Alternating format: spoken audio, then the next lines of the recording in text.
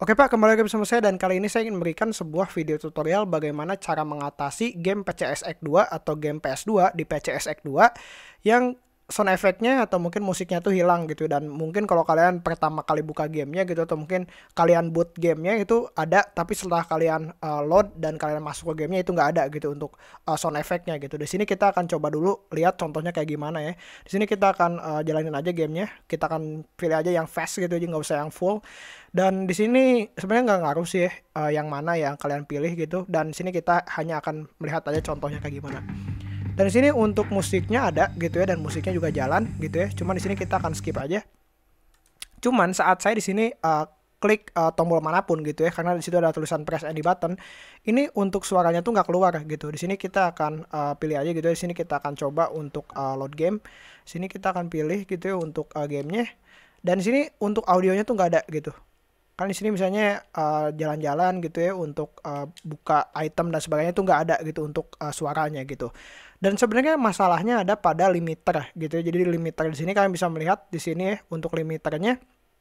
Di sini limiternya saya matiin gitu ya. Jadi kalau nggak di limit ini bakal jadi gede gitu FPS-nya tapi tergantung juga dari laptop atau PC kalian kuat atau enggak kalau laptop saya lumayan bagus gitu untuk jalanin PCSX 2 jadi di sini FPS-nya sekitar 120 atau kalau ya di sini tertentu bisa 200 atau 300 gitu dan itu yang membuat gamenya menjadi hilang gitu untuk uh, sound efeknya mungkin karena suaranya nggak diproses ya saat kalian membuka gamenya gitu. Dan untuk cara mengatasinya adalah kalian kalau misalnya kalian masih tetap pengen gitu ya untuk pakai limiternya kalian bisa matiin dulu limiternya gitu ya. Di sini untuk limiternya di sini saya uh, udah ganti ke normal gitu ya. Di sini saya udah pencet F3 gitu untuk uh, mati limiternya. Kalian bisa exit dan kalian bisa klik sistem terus kalian klik yang uh, boot lagi gitu ya. Fast gitu. Pilih aja yang fast atau yang full nggak jadi masalah sih ya. Dan setelah itu seharusnya untuk audionya bakal balik lagi sih ya dengan sound effect sound effectnya gitu dengan oh, musiknya juga gitu. Dan di sini untuk di bootnya untuk audionya ada, di gamenya pun nanti bakal ada gitu.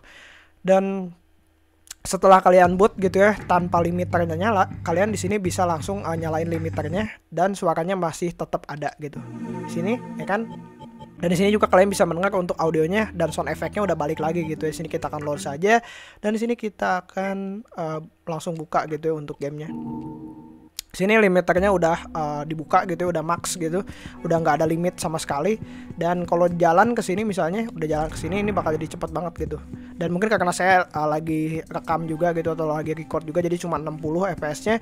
Kalau di tempat yang kosong ini bisa sampai 200 dan saya main Shin Megami Tensei 3 ini jujur ini larinya tuh kayak jogging gitu jadi limiternya saya matiin biar larinya kenceng gitu jadi ya biar uh, menghemat waktu saya aja sih main game ini gitu dan ini jadi intinya cukup gitu doang sih cukup kalian matiin untuk limiternya gitu. Tinggal kalian pencet F3 aja tergantung dari shortcut uh, PCSX 2 kalian. Tinggal kalian matiin limiternya kalian bisa ke config kalian bisa ke video terus ke Windows setting ya uh, bukan window ya di GS mungkin. Nah ya di GS GS setting gitu ya. Di sini ada frame limiternya kalian bisa uh, klik untuk yang disable frame limitingnya. Untuk di uncheck ini berarti kalian bakal ngelimit gitu ya untuk speednya. Kalau dicek berarti bakal dibuka gitu untuk limitnya gitu. Nah limit ini tujuannya adalah untuk ngelimit gamenya biar nggak speednya tuh 200% gitu. Jadi biar uh, kalau misalnya kalian lari gitu biar ya biar terkendali aja sih. Cuman tergantung juga penggunaannya gitu. Kalau saya untuk uh, battle yang ya bisa dibilang uh, tedious gitu atau mungkin boring gitu atau mungkin repetitif kayak ya sih Megami Tensei ini apalagi ada random encounter gitu. Jadi saya pakai uh, disable frame limitingnya ini saya nyalain gitu. Dan ini jadi cukup segitu doang sih untuk videonya. Setelah itu kalian setelah uh, matiin untuk frame limitnya kalian bisa close gamenya kalian bisa buka lagi gitu ya. Tapi jangan di resume atau mungkin jangan dilanjutin karena sound efeknya nggak akan balik gitu kalau udah kalian resume ini. Atau mungkin load state ya itu nggak akan balik gitu untuk audionya. Jadi kalian harus reboot gamenya gitu ya, baik itu fast atau full nggak jadi masalah. Dan setelah itu kalian klik yes aja kalau ada dialog yang kayak gini kalian yes dan udah gitu nanti kalian bakal uh, balik lagi untuk audio dan sound efeknya gitu. Dan ini jadi cukup segitu doang sih untuk videonya dan thanks for watching. Bye bye